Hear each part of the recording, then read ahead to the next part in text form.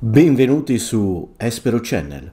Oggi vediamo un modo diverso di fare tracking e di adattare un elemento a un altro elemento.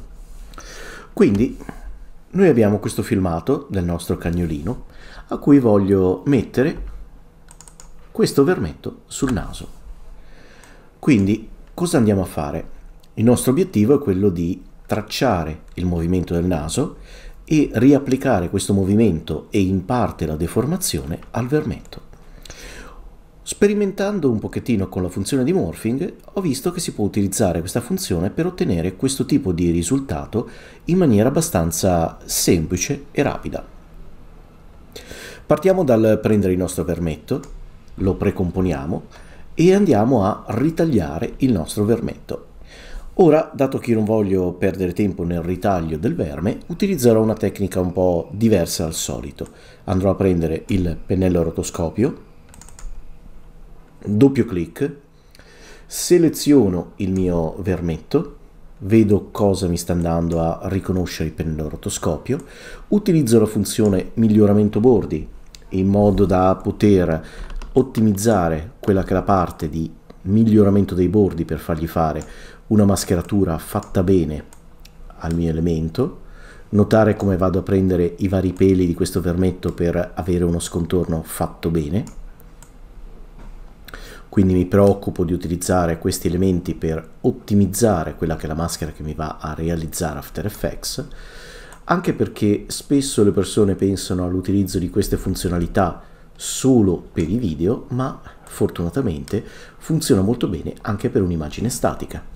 Quindi andiamo a creare questa mascheratura, ogni tanto mi fermo per dare un'ulteriore pennellata, continuiamo sul contorno. In questo modo sto andando a farmi creare direttamente dalle funzioni di After Effects. Allora, ecco ci siamo quasi. Quella che è la maschera per il nostro vermetto in una situazione un pochettino più semplice magari sarei passato per Photoshop, ma avendo la possibilità di utilizzare queste funzionalità già direttamente dentro After, perché uscire? Ok, diciamo che la mascheratura potrebbe essere abbastanza buona, controlliamo. Direi di sì. Quindi posso da questo elemento andare a salvarmi, salva fotogramma con nome, vado a salvarmi nella cartella dei contributi il vermetto. In questo modo lui mi ha salvato un file di Photoshop, quindi posso andare a reimportare dei contributi il mio vermetto, mi legge la trasparenza, quindi adesso ho il mio elemento già scontornato senza bisogno di avere problemi di scontorni o altro fatti in differenti modi. Quindi come potete vedere ha fatto un buon scontorno, ha scontornato i peli del vermetto per poterlo applicare sul cane in maniera semplice e rapida.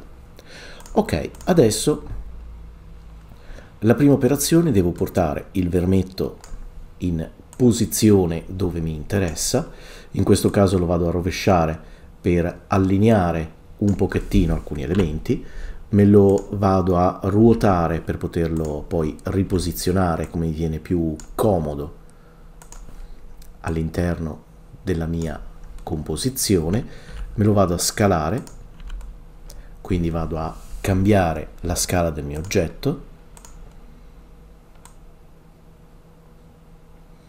in modo che sarà adatto per poterlo poi riposizionare direttamente sulla mia parte interessata. Quindi a questo punto devo decidere come fare a fare il tracking. Ora l'operazione a cui sto pensando è la seguente. Creerò un tracking di una maschera. Faccio una cosa anche semplice, potrebbe essere un'ellisse, direttamente attorno al naso del cagnolino. Quindi questo mi permette di essere diciamo in una posizione corretta la metto già in modalità nessuno perché è quello che mi interessa e vado a fare il tracking di questa maschera.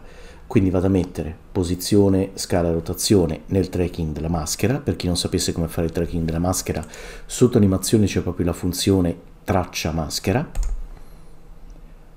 lancio il tracking che andrà a seguire con la maschera la posizione del naso. Quindi una volta che lui ha finito di fare tutto il tracking, quindi sta creando una serie di keyframe per la forma della maschera, tornerò alla posizione originale. Però prima di fare quello andrò a copiare e incollare la maschera da il livello del nostro cagnolino al livello del vermetto, in modo che così lui avrà una maschera come sistema di deformazione. Quindi vado a tagliare, vado a incollare, quindi viene incollata la maschera sul vermetto. In questo caso notate, avendo il vermetto una dimensione diversa, la maschera viene incollata di una scala diversa. Questo non va bene.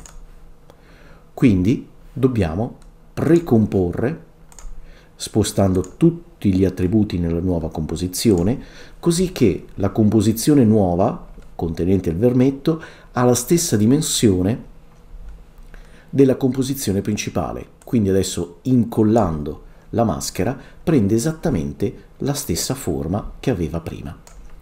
A questo punto, per ottenere il risultato che ci interessa, dobbiamo andare sulla maschera 1, dobbiamo andare a duplicare questa maschera, cambiamo il colore,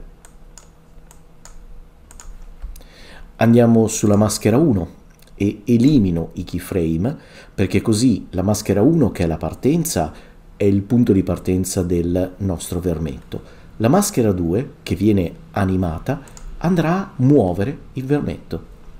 Quindi per concludere l'effetto vado sul livello, aggiungo l'effetto distorsione nuova forma, ovvero per chi usa la versione inglese morphing, maschera di origine 1, maschera di destinazione 2, 100%.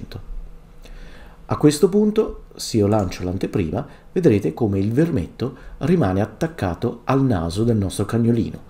Nel momento in cui lui muove il naso, il vermetto si muove di conseguenza, viene deformato perché viene deformato con la maschera.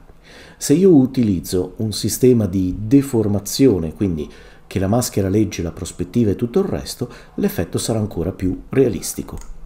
Ovviamente in questo caso dovrei fare qualche regolazione di correzione colore, perché comunque la luce, tutto non sono coerenti con quello che è l'immagine che ci interessa, quindi devo andare a lavorare un pochettino su quelli che sono i contrasti, su quello che sono gli effetti su questo vermetto, però il movimento, come potete vedere, è perfettamente legato al nostro oggetto. Grazie al fatto che noi abbiamo fatto un sistema di precomposizione, io posso andare a aprire anche la composizione separata del nostro vermetto, andare sulla composizione del vermetto, andare ad adattare quello che sarà la scala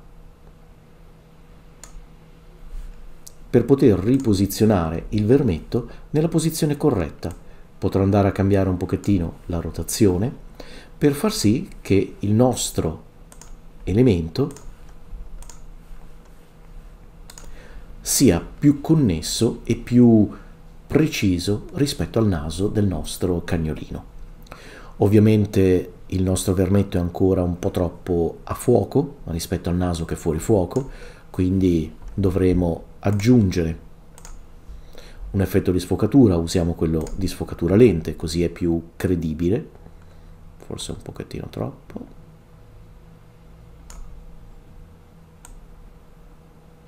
Ok, proviamo con 3, perfetto a quel punto già è meglio. Come vedete, quando si compone, quando si aggiungono gli elementi, non si finisce mai di lavorare e comporre il tutto. Adesso potremo anche aggiungere un pochettino di sfocatura di movimento per cambiare l'effetto, però diciamo che il lavoro potrebbe essere anche semi-infinito, perché noi abbiamo la possibilità di migliorare ottimizzare il tutto per quanto vogliamo. Questo è uno dei mille trucchi che potete imparare durante un corso espero. Venite a trovarci, iscrivetevi